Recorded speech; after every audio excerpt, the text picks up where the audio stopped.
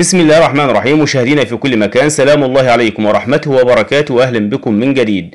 اتحاد الكرة يكشر عن أنيابه للأندية التي هددت بالانسحاب من الدوري. قال أحد مسؤول اللجنة المؤقتة لإدارة اتحاد الكرة أنه سيتم تطبيق لائحة العقوبات ضد أي فريق بالدوري الممتاز ينسحب من المباريات ولا يلتزم بالمواعيد المقررة من طرفه.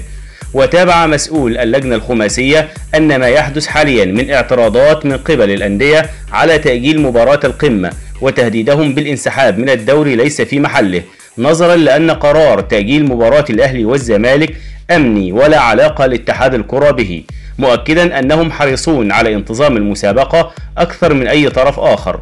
وأكمل أننا لن نخضع لأي تهديدات من الأندية والفريق الذي لن يتوجه لملعب المباريات سيعد منسحبا وبالتالي يعتبر خاسرا. وكان المقاولون العرب قد اعترض على قرار الجبلاية بتقديم مباراته ضد الزمالك وأكد أن ناديه سيلجأ للجنة الأولمبية احتجاجا على قرار اتحاد الكرة المصري بتقديم مباراته أمام الزمالك في الجولة الخامسة من الدوري لتلعب السبت المقبل مع المطالبة بإلغاء بطولة الدوري.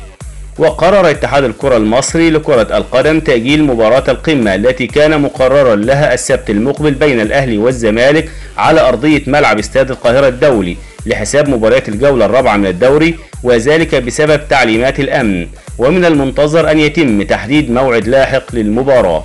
في النهاية بشكركم مشاهدينا ومتابعينا والسلام عليكم ورحمة الله وبركاته. لا تنسوا الإعجاب بالفيديو والاشتراك في القناة.